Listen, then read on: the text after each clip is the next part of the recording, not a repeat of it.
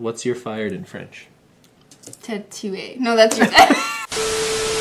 oh, et mon petit chat. I brought you a cat. Zaleur, tu parles la langue française. Il est malice. Non. Vas-y. Allons-y, les garçons. Enlever le vernis sur mes ongles avec euh, le dissolvant professionnel. Are you cheating? No.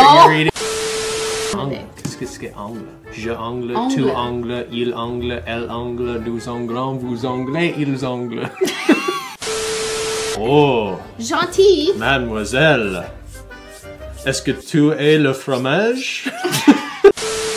Ooh, ratatouille. A lot of French words are gendered. Like you have to say la chaise and not le chaise. Uh-huh. And for some reason, chairs are female. I don't know why. And houses are also female. Who got to decide? Who decided that? yeah, who got to decide what are female and what are male? Objects are gendered, which I do not understand. The chair is a woman. What's a man? A window? La fenêtre. What's no, a no, no. What's a le? Le, le lumière? No, it's la lumière. Holy shit, everything is a female. French tip go to a French bakery at the end of the day, and they might have some day old baguettes in the dumpster you could get for free. In the dumpster? Yeah. No, don't do that. Don't listen to him.